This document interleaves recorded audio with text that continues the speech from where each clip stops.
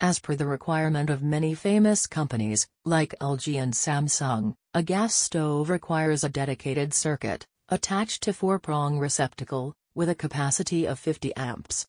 Therefore, it would be appropriate to utilize a special fused electric circuit with 120 volts, 60 Hz, and 20 amps.